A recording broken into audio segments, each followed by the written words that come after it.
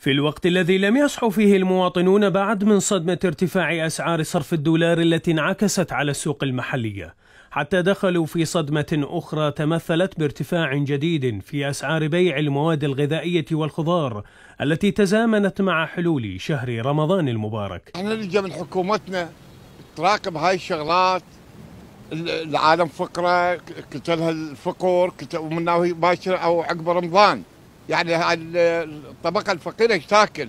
ماكو رقابة من الدولة لو أكو رقابة وأكو عالم يعني تراقبهم ما يصير هذا الصعود بهذه الطريقة يعني الواقع بها بس الفقير هذا الارتفاع السريع في الأسعار يعزوه أصحاب محال بيع المفرد إلى غياب الرقابة على تجار الأزمات والذين يحتكرون المنتجات والسلع ويتلاعبون بأسعارها كيفما شاءوا حتى وإن كان ذلك على حساب المستهلكين. مشكلة غير مثلا الدولة أنه تفرض مثلا تسعيرة مثلا على أبو الشركة تفرض على الشغلات اللي تستوردها الشركة هي. نفسها مثلا أكو شغلات دولاريتها ثابتة.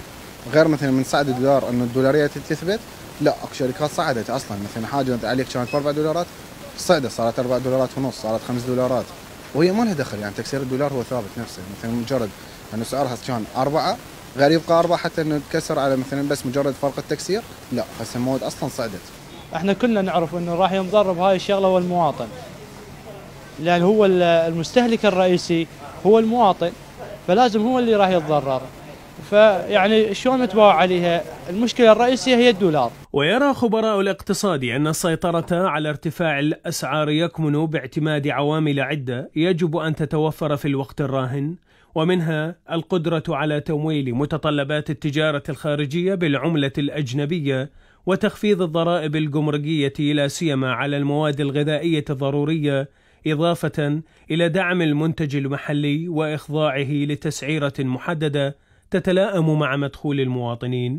وعلى الرغم من التأكيدات الحكومية بمتابعة ملف ارتفاع الأسعار ومحاسبة المتسببين في ذلك إلا أن المواطن لم يتلمس أي نتائج تذكر.